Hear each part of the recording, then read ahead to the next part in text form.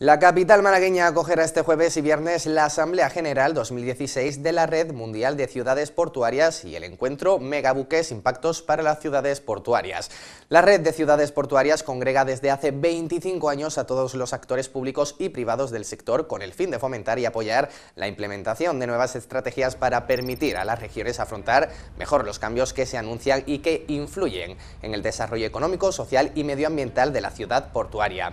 En esta ocasión, el Observatorio de Medio Ambiente Urbano del Ayuntamiento de Málaga acogerá a destacados ponentes y delegados de este organismo que presentarán temáticas relacionadas con la gestión de los megabuques y sus consecuencias para la ciudad. Junto con el alcalde de Málaga, Francisco de la Torre, está prevista la presencia de los presidentes de la red de ciudades portuarias, de puertos del Estado y de la Autoridad Portuaria de Málaga, Philip Mafis, José Yorca Ortega y Paulino Plata, respectivamente. Además, según han detallado desde el consistorio a través de un comunicado, se realizarán visitas técnicas al puerto de Málaga y al Palmeral de las Sorpresas.